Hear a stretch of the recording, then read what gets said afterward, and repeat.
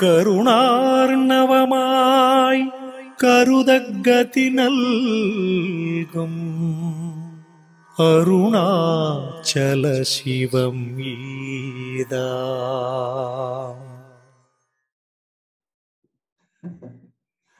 Namaste, Namaste. Aditya. So, what did you want to talk about? Yeah, so um, I've been uh, following you for now since 2019. Oh, really? And yeah, I really have made a tremendous um, spiritual progress ever since then. Though being you- occupied, Can you talk a little slower? Because there, that buzz in the background really it makes it hard to understand what you're saying. okay. Yeah. So, so uh, I was saying I was been uh, have been following you since 2019. Uh huh. Yeah, since then I've been uh, very much devoted to Shakti, To what? Amba. So I've been devoted to Shakti, Ambal. Amba. Now you're talking. Yeah, yeah. So uh, in southern India we call Amba more, as you know, since you have lived there. Yeah. Yeah, and I never knew about Chaturdarshanam, and before even I was like so much uh, in between, uh, stuck in duality, and more of uh, karma yoga and um, ritualistic practices. Well, that's all. It's all good. Yeah, so it I was really really um, after getting to know that how the Chaturdarshanam works and uh, how it is like much more practical and uh, everything fits within the Chaturdarshanam. It's like something really beautiful. Yes. Shankaracharya. Huh? Shankaracharya. Yeah. You know how I found out about it? It was through Ramana Maharshi. He has a book called Guru Vachaka Kovai. Guru Vachaka Kovai is a collection of verses written by Muruganar Hmm. and uh, of uh, like versifying Ramana's teachings. And he would show them to Ramana, and Ramana would approve them or correct them or whatever. So anyway, there's over a thousand verses. Yes, I've heard Guru Achakukova. It's, it's really, really beautiful. It's and as well as amazing. Kaivalya Navaneetham. But anyway, in- in verse 83, Ramana reveals that he is teaching on the uh, platform of meditation. Uh, he, he is not teaching on karma yoga or bhakti yoga. He's teaching on dhyan, raja yoga. Raja Yoga. Yeah. Yeah. And that he himself, of course, is in Jnana, Jnana Yoga, uh, the highest platform. But he descends, he comes down a step to talk to his disciples. Yes, that is I- the beauty of a yogi. A true yogi is he never he looks at everyone with an equal eye. He never looks upon someone, or he never converts them into his view, or you know Right. that's something really beautiful about uh, real actual realized sage is that he uh, descends from his view consciousness to the duality and has to teach him or her the yeah Well, that's something why really I that's why I got into Sri Vidya because um, I realized about three years ago that my audience was not getting the non-dual teachings. I was doing a series on Ulladu Narpadu and you know, but um, a little bit. Guru Vachaka Kovai and like that. So I realized I have to give a, a duality based teaching so that those people can also have some platform, you know. Uh, and they don't, they're not tempted to, to try to jump up prematurely. I think that's the problem is that everyone wants to jump up very soon. I think it's uh, is because of the age, I believe, Kali age or Kali Yuga, or some it has some effect, is that no one wants to do the hard work and no one wants to go through this, you know, layer step by step process. And it's just that the top view is so attractive and so fascinating that everyone is drawn into it. Like, so I think it will be a good idea that before any video, I've always thought in my mind, you really put your heart and soul into every video I felt that we should put this video is on the platform of this dvaita or this duality. It'll be much more easy for you. Well, you know how I got into this was through being a musician. Temple musician, yes. When, yeah, when you're a musician, you learn how to practice and you learn that the fundamentals are the most important thing to practice, even if you're expert. Right. You still have to practice the fundamentals. I remember there's a story about Andre Segovia, the great guitarist, classical mm. guitarist. Mm. And uh, even at age 80, 83, something like this, he was still practicing fundamentals, scales, and stuff like that. And someone asked him, You're such a great master. Why do you have to practice that stuff? And he said, if I don't practice for one day, I can hear the difference. If I don't practice for two days, my wife can hear the difference. And if I don't practice for three days, my friends can hear the difference. And that's, you know, unacceptable. yeah. so I've always laid a lot of stress on the fundamentals. If you go back to the beginning of our series with matrix learning, or what is it called now? Foundation. Becoming genius and the foundation. Being, yeah. Talks yeah. about being and becoming and yeah, these are fundamental. How we get conditioned. Yes, this is the fundamental. Yeah. Yes. And the thing is that very thing which Buddha described was he observed how things as it is, um, the nama rupa follows consciousness and how things, how we get uh, the human mind gets conditioned you know that's something uh, something really beautiful i mean dependent origination yeah dependent origination paticca samuppada yeah it's the most amazing thing that's what drew me into the buddha's teaching until then i really wasn't interested in it um, i was a devotee a krishna devotee for many years and even after i got first path because i didn't have the background I didn't know what it was. Mm. Uh, even it, it, happened to me, but I didn't understand it. so, yes, I believe this is where um, uh, the hunger for the truth or draws you. It, it, teaches you things even without you knowing. That's happened with me. That's happened with you, and it's just that you should be. Uh, you should be have a good intention. You should have, as you say, uh, if you want a true guru, you should be the the good disciple gets the true guru. Yes, the appetite for truth is the basis of everything. So if you have that, somehow or other, you will come to the truth. You know, because God is is watching. Devi is, yeah, Ambal is watching everything as Kundalini. Yes. So she is without and within. Uh, so she knows everything, and her laws are the laws of the universe, and that includes the spiritual progress, karma, everything. Everything. So, you know, the saying, when the disciple is qualified, the guru shows up. Absolutely. Yeah, so it's like that. When she sees we're ready, we get the next step. You know, even if we don't understand it, she'll just bless us. yes, I think this is uh, should be an eye-opening fact for everyone.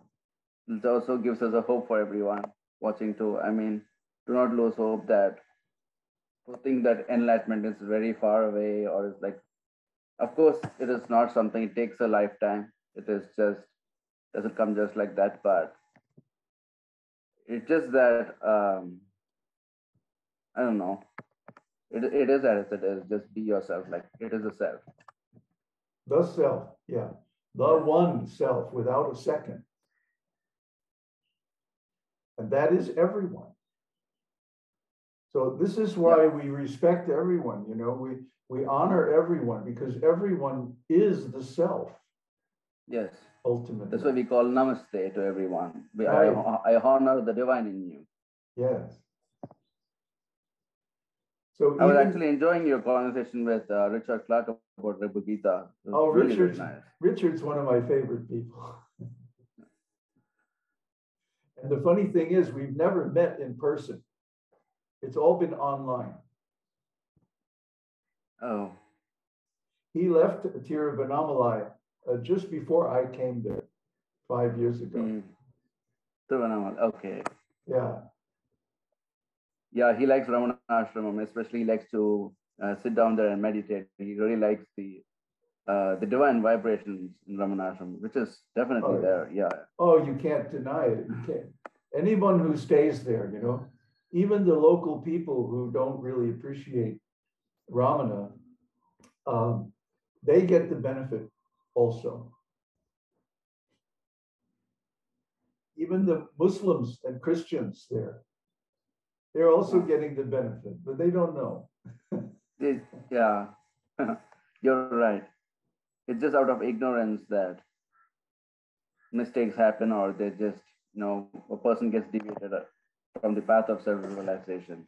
That no one does things, it's all out of, I believe, ignorance. All bad karmas or anything is done out of just out of ignorance.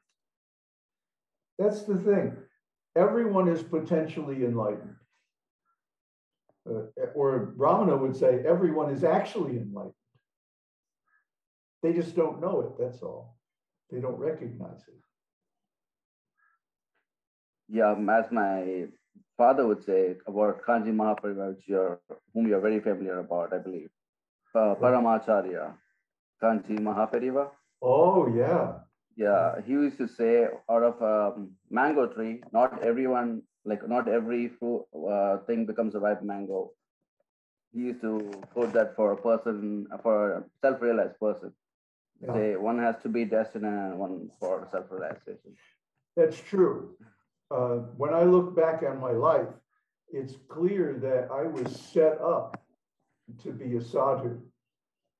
My family situation and you know my inner makeup and nature and all is directed me to be a sadhu. I had really no choice about it. As soon as I found books about yoga, when I was like 12, 13 years old, that was it. I was hooked.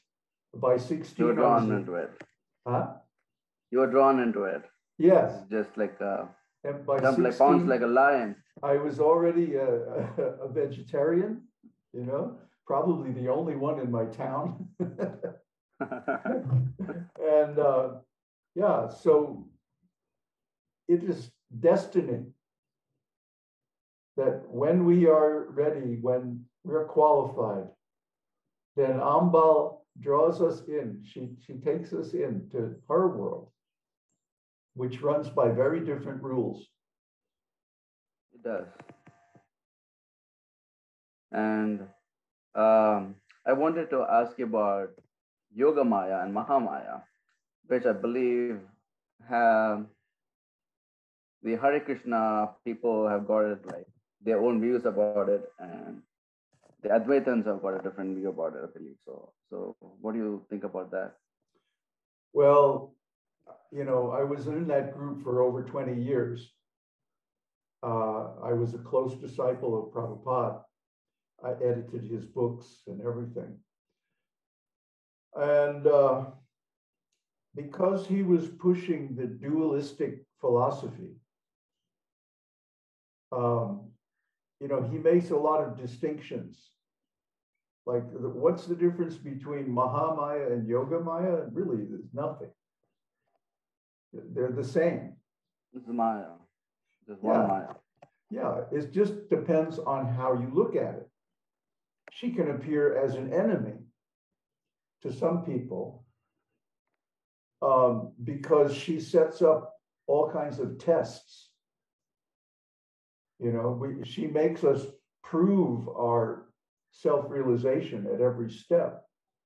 And if there's Yeah. any defect, you know, it immediately becomes obvious. Yeah.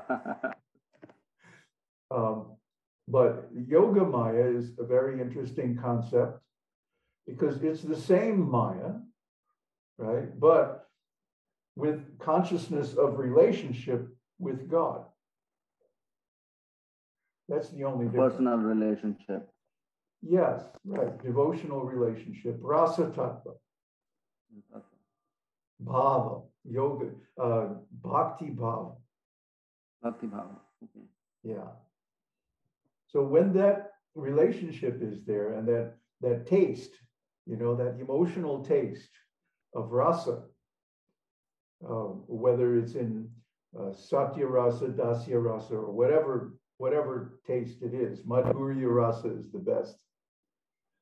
Um, I somehow find the um, Bhakti Rasa is so beautiful. It's just that it's really, really hard to come out of it. And that's when I really I approached you. I understood what was Raja Yoga, and then I could really feel that there are levels above that. So Bhakti is not everything. Yeah. yeah, everything So- it goes step by step. You know, so when you're karma yoga, when you have sufficient punya, then you automatically develop bhakti. And when bhakti matures into prema, you automatically develop meditation, concentration, you know, dharana, dhyana, samadhi. All the higher stages of yoga develop automatically from that taste. So that's why you, you can't omit any of the stages. Hmm. Every stage is equally important. Yes, in its time. Do not force anything. Just just let it go naturally. It is. Yeah, it, it's not that one is better than the other. Hmm. It's just like if you're growing a tree, you plant a tree, you can't say that the stage when it gives the fruits is better than the stage when it's a sapling. Absolutely. Yeah. Yeah, the tree is the same. Each stage is important for the other to grow. Yes, and with if you try to omit one stage, the, the tree is finished. Yes. you can't Right. make it give fruits. Yes. The perfect example for um, a neo Advaita would be the rice and pot example, rice pot and the fire example. Like you need all of them to for the you know the rice to. You tell it, tell the whole story. Yeah, it's just that um, neo is much more common these days on the rise, especially because I just, as I told in the beginning, that people are just drawn into meditation. Meditation has become like pretty much a business these days. Yeah. So everyone wants to sit down, close their eyes. They think it's an experience. They think it's an addi- uh, something. Uh, they're adding something. So the very, I think, it's the mindset which you sit down to meditate. That's the most important thing. Do not, think you want to add anything. You want to. The meditation is a, a subtractive process, not an process That's- to add anything. Very important point. Yeah, we're not adding something to the being. The being is already perfect. We're taking away the false things. Neti neti. 1880. It's, it is the subtract. Neti neti is subtraction. So bhava again. So bhava is the mindset. You sit down to meditate. So if you sit down to the meditate that I want to get, I want to get enlightened, when that's a wrong mindset. Because enlightenment, as Swami says, is already present. It's already a natural state. At that stage, you don't even have to sit down and formally meditate. You know, it just happens spontaneously while walking, while working, while doing this and that, going here and there. You cannot stop thinking of your Ishta Devata. Absolutely. And I, I have felt this within myself. My Devata is Shakti. Right? For example, it, it is Shakti. So I always, I'm drawn to the goddess. I don't know, naturally. Uh, And yeah, I just, it didn't come but all of a sudden because I was looking for my Devata all of a sudden, but I was always regularly chanting mantras, mantras. But every time I chant Shak- um Lalita Devi's uh, Stotram or Sahasranama, I feel really, really drawn to Lalita Devi. Oh, Lalita Sahasranamam is the most powerful prayer I know. Yeah, it is. And it has everything in it. The whole philosophy is in it. Kundalini Yoga is in it. Bhakti, Gyan, everything. It, it encompasses every single thing you can, uh, yeah, you can say, you can talk about. It has the words. You, um, I, I have, still have your uh, the confidential meaning of Lalita Sahasram. I've downloaded every single year. I read that every time, and yeah, every single word, the meaning it has, all the secrets you want to know. It's all there in that. That's right. I wish So more all of people you would download it. Yeah. But you know, they just want to watch the videos and have me tell it. but really, you have to do the work yourself. True. No substitute. We can help Yeah. get people interested in it. And that's the value of the videos. But uh, until you actually sit down and go through it yourself and contemplate those meanings, then you start to get the real benefits. Absolutely. I agree with you. Now, how would we, in the living in this society, which is like literally totally conditioned or designed in a way to take us away from this path of self realization or knowing the actual Vedic truths, how does one um, channelize his or her efforts and try to do their best in order to minimize such distractions? You know, what would you give the tips to the general people, the society? Well, I can only uh, give advice from my own experience. I also felt this conflict. And I resisted for a long time, uh, you know, going into the business world and everything like that. Uh, I was very fortunate to have talent in music, and I was able to make uh, a good living as an independent composer during my 20s. But then the corruption of the music business started to weigh on me really heavily. In good conscience, I couldn't continue with it. Um, so I joined my guru's ashram when I was 27. And one thing led to another, and I wound up being an editor on his books, Sanskrit and English editor. So he trained me up. And uh, when I left the temple, when I became a householder, uh, I got married and even had a couple of kids. I worked as an independent writer, technical writer, for over 25 years. I had my own business. I worked at home. Uh, I, I used to joke that my whole business fit in my back pocket because that's where I kept my checkbook. so, a very simple solution to the economic problem uh, with the minimum amount of association with the, the you know business world, cutthroat competition and politics and all this nonsense that goes on in these corporations. I tried to separate myself as much as possible from that. And it meant that I earned less money, but I didn't care as long as I had adequate funds. And I worked enough. Do your sadhana. Yes, As long as you have adequate funds to do your sadhana, nothing else matters. right. I would save up money and then I would go to India for a year or two and then come back and make some more money. And that was my lifestyle. And at the end, I had worked enough and my accountant was a good guy. So he paid all my taxes and everything on time. And I got Social Security benefits. So from that point, I was completely independent of any business or, you know, organizations or anything like that. And uh, that's been the, one of the greatest blessings. So I always advise people during the karma yoga phase to take care of your finances so that you can literally drop out of the workforce and business and all that stuff. And just devote yourself to Sat.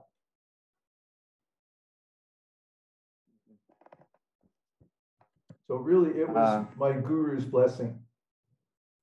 He trained me up as an editor and I became a writer. Oh.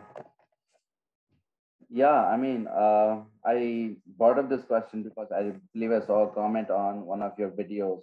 Someone really had uh, written, written this, and I really wanted also the audience to uh, also know because, um, and all of us are just uh, trying, trying to, you know, really um, grow up spiritually and uh, devote uh, devote more most of the time to uh, self realization. So I really wanted to bring up this particular thing. Yeah, it's a struggle. You know, uh, there's no accident that Krishna spoke Bhagavad Gita on a battlefield. And he was urging Arjuna to, you know, plunge in and fight. Don't hold back. You have to fight to get what is rightfully yours. That's just the way the world is. I'm sorry, Yeah. nobody can do anything about it. It's the way it's set up by Maya, uh, Yeah. Mahamaya. Mahama- Yeah, That- yeah. Talking about Mahabharata, you were saying that how it- Krishna shed the like um he spoke out the divine truth as well as it was designed in a way it was very hard to interpret Mahabharata.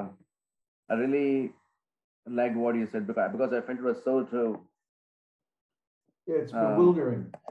It- yeah. Yeah, because it's, it's, first of all, it's written from a very high knowledge of human nature and spirituality. You know, if Vyasa or whoever wrote it had to have deep, deep knowledge of how people think and how they act and react and so on.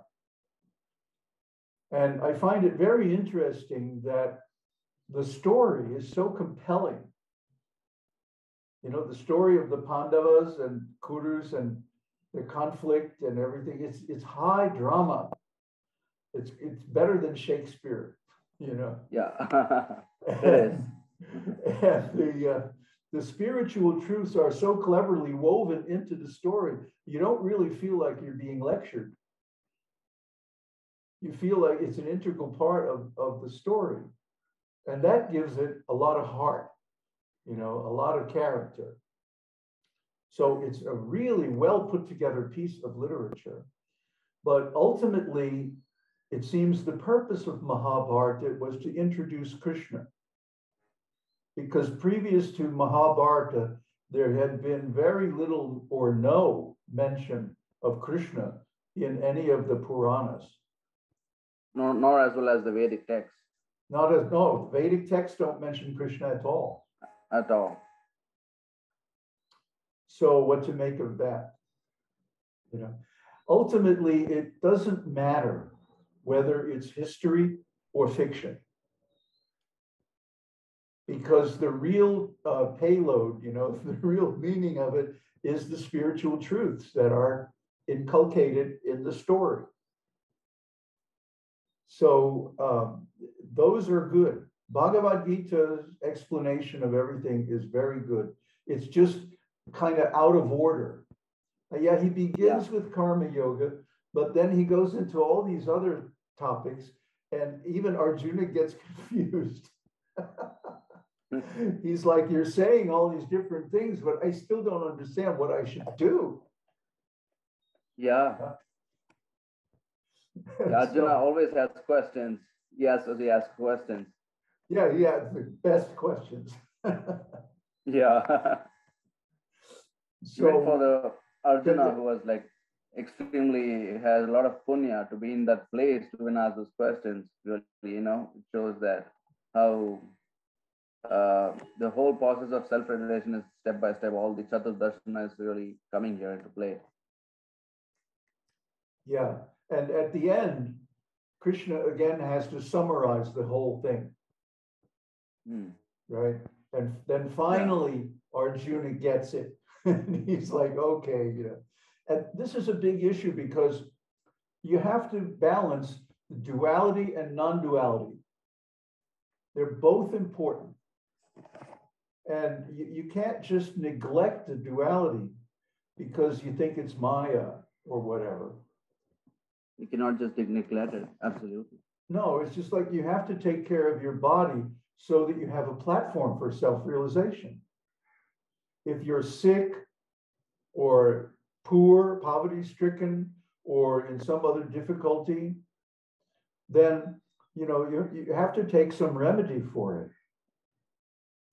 And uh, that's very interesting that Vishnu Sahasranam says in the um, at the end, what is that called? The um, where it's giving the results. Like if you chant this Vishnu Sahasranam, you get so many things. What is that called? Rama Rama Rameti. Yeah, that famous sloka. I remember. Yeah. Ah, Sri You- I Rama believe Rama Rame. you- I saw one of your Rame videos. Manorame. Sahasranama Sat Punyam. Huh? Sri Rama Nama Varanane. Yes. Yes.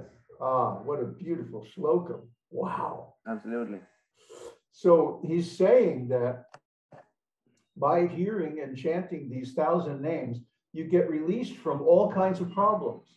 And this is also my experience. I chanted that Vishnu Sahasranam like multiple times a day for many years. And I think it's a big reason why today I have such good facility for spiritual life and for helping others.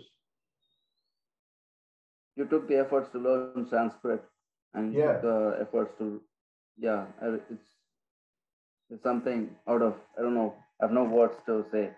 Well, it Really was beautiful. It was by Guru's grace. Yeah, my Adi Guru, he needed as an editor, a Sanskrit editor. And I was the type of person, I'm not afraid to look things up. So if you're going to work with Sanskrit, you got to have that big, thick Sanskrit dictionary right by your side. Yeah, absolutely. so to all the viewers watching who are trying to learn Sanskrit, so uh, Swami is an example where he just tried and the goddess within helps you. If you try to even make an effort, so somehow she helps you succeed in it. If Yeah. your intent is pure, if you really want to do it, you will get it. You know, it's very interesting that she, like any mother, loves to satisfy her children's desires. So uh, when she sees that we desire something, even if it's bad for us, she'll actually she'll give that to you. Now, see see what happens. Now learn the lesson from this. You know, she can be she can be very uh, strict disciplinarian sometimes, like any mother. Any good mother will punish the child if he if the child is doing something that that's bad, you know, that will hurt the child. So you know, this hurts me more than it hurts you. kind of. Thing. And um, Swami, so is it important just to be patient? Having patience is the key. Yeah, I, again, I go back to learning a musical instrument. You can't be in a rush. If you do, you'll pick up too many bad habits. And then you have to spend twice the time to unlearn them and learn again the right way. So the, the, the lesson is do the fundamentals, look up the words, learn the meanings of the shlokas, go deep into it. Don't be satisfied with anybody else's interpretation. Look into it for yourself. Yeah, that's why I always uh, like it when you always used to say something. Go to the source.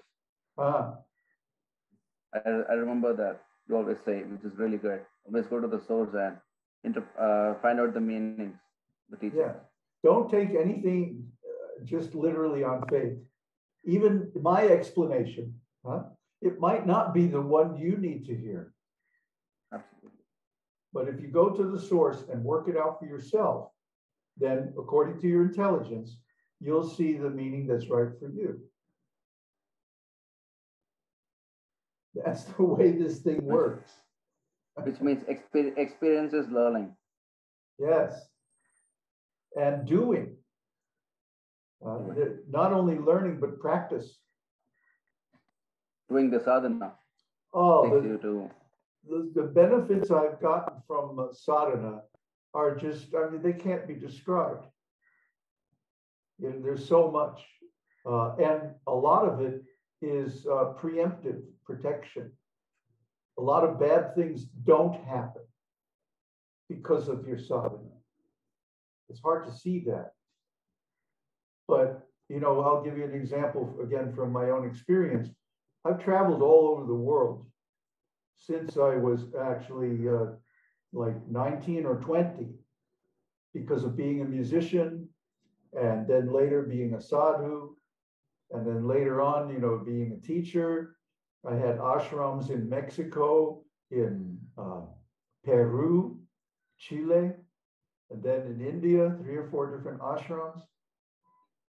And traveled, you know, to many, many different countries. And I've been in places where there's no foreigners for a hundred kilometers in every direction.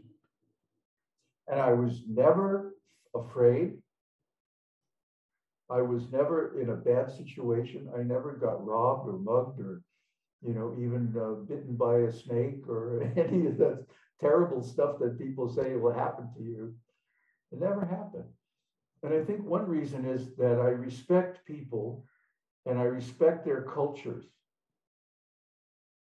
You know, and I don't try to impose my views, but this is called rather, acceptance. sorry, This is called acceptance, accepting other people as they are. and respect. Yes. This is Yeah. also a form of bhakti. I think so, yes. Yeah. And Ananya Bhakti. Ananya bhakti. Yeah. Seeing that that nails it. Yeah. we uh, are we are not different.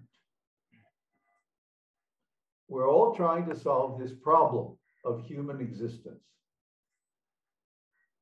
The only difference is where we are on the path and the particular methods that we're using. But everybody's in the same situation. Yeah. We're in this together. So everybody is trying their best. Even if, even they're they may be doing something or believing something that we don't accept. But that's our problem.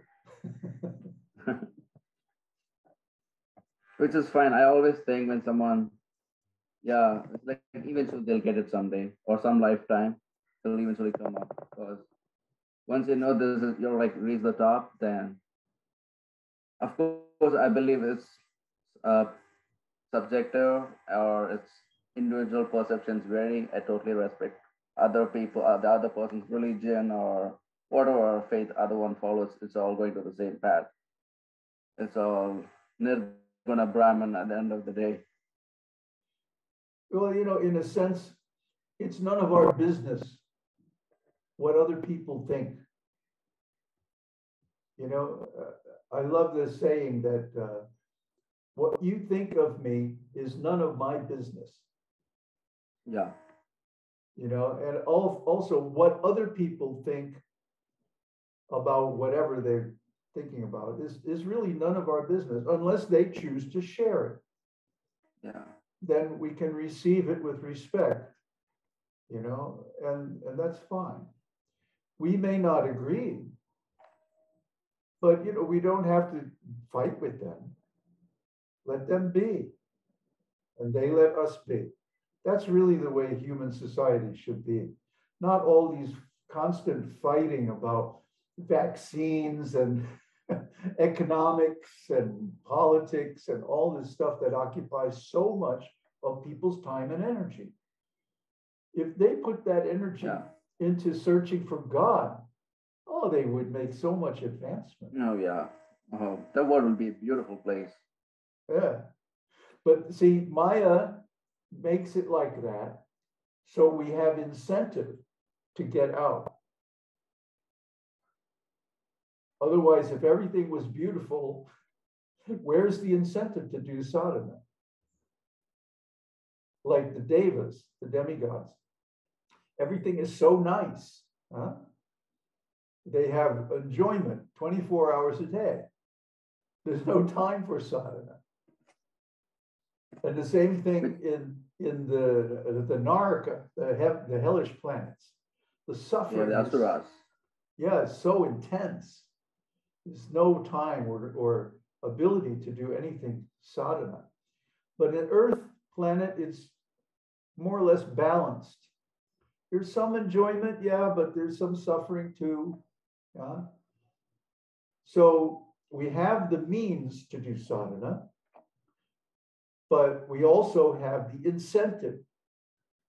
So this is why even the demigods want to take birth on the earth planet so they can finish their sadhana. Yeah. So how are we doing on time? Just a few minutes left. Okay. So what do you want to talk about? I want to talk about so uh, one main thing I want to talk about is uh, how whenever yeah I really want to share um, I want to share like all these to the general audience. I'm like, how do I share it? I'm like, how do I get people? It's not that I want to convert them out of for that. I'm not that kind of person, which is why I'm really uh, I really like the way because you really have always said that you never wanted to be a guru in the first place and you never wanted to start an organization. I was really really inspired by that. But also at the same time i thought, i should uh, share uh, such beautiful beautiful teachings with everyone also. Because the world needs it. And yeah so i really wanted to use a um, suitable platform for that. You can make videos too. Or you can share our videos on social media.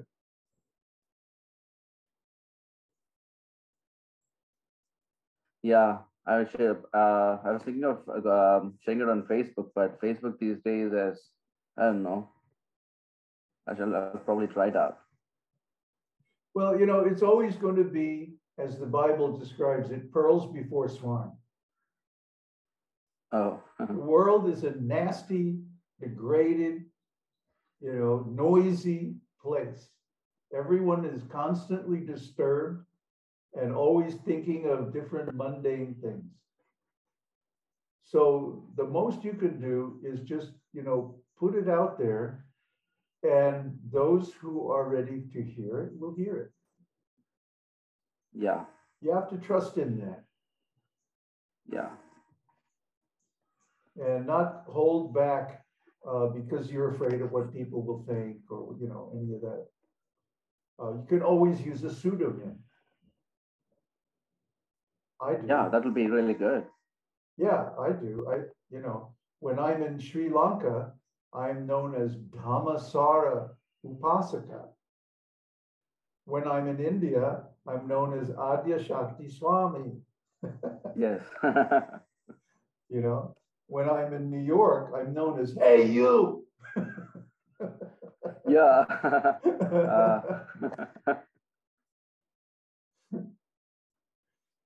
I believe uh, I saw your English name in the email address, yeah, David.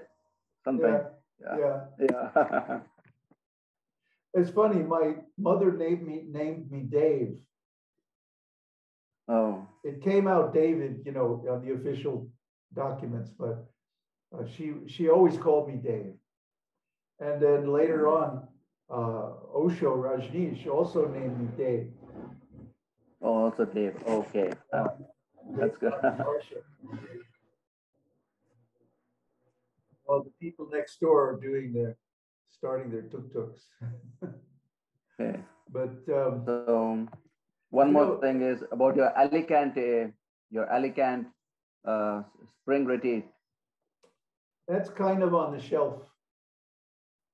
Hmm. um, it's not working out um, because the the fellow who would host me uh, turns out that he's a how can I say a wild speculator. And even though he Mhm. claims to be my disciple, uh, it's not exactly following our thinking. Oh, okay. Okay. So yeah, I, I don't want to get involved with all the you know vaccine politics and stuff like that. Oh no, not at all. Yeah, um, like I was explaining uh, the other day, I'm not an anti-vaxxer, but I'm not a vaccine fascist either. Mm, I don't think, you know, that people should be locked up or prevented from traveling or any of that stuff. People should be free. absolutely. Um, anyway, that's not my area. I don't have any authority, you know, I, I'm not a None, none of my business. It's none of None my of my business. it's in there, right there. it Saves so much time and energy, right? Yes. None of my So, the, in a nutshell, anything which deviates you from your sadhana leading to self-realization, any kind of sadhana, is none of your business. Really, because that is the prime business in human life to get free, to attain self realization. Anything else is, you know, if it helps us, it's if it's appropriate, you know, like making a living or taking care of your health. Mm. Okay, that's we can file that under karma yoga. Yes. But all this other stuff really is unnecessary. Yeah. For example, going to the gym or um, uh, styling your hair or Well- just I do I do hatha yoga. I go for walks, you know, and of course I'm chanting my mantra as I'm doing it. yes, that's karma yoga. Yeah, I'm taking care of the body because if the body gets sick or if it's uncomfortable or weak, then I can't do my sadhana. I can't do my seva. That's correct. takes a lot of energy to manage all this technology, you know. Uh, but on the other hand, it keeps my mind active. I'm always learning new stuff. And, you know, that's a good thing. So those things that help us in our sadhana, that we should keep that, you know, it's not a bad thing to go to the gym. But if we get all caught up in, you know, my body and your body and da da da da da, then it gets to be a distraction. I exercise by myself. I just do hatha yoga. That's it. That's good. It at least helps you sit down and yeah, in, in some kind of posture or hatha yoga in a way. It's, it's all it's all good actually in a way. As I- It's very yeah. good. Of, of all the different kinds of exercise, I think hatha yoga and walking is enough. You know, I used to have heart problems in my 40s and 50s. Then I started walking regularly and I haven't had any problems since. So a little aerobics, a little stretching, that's all you need, and a clean, healthy diet. So thank you, Adithya. It's been a real pleasure. I'm Yes. glad you I'm glad you got out of your shell. Yes, and uh, you you made it possible also. Shakti made it possible, Ma Shakti. Yeah. So thanks to her, thanks to you and everyone watching also. Namaste. Yeah. Namaste. Om Tat Sat. Om, Om Tat Sat. Shakti. Om Hari Om.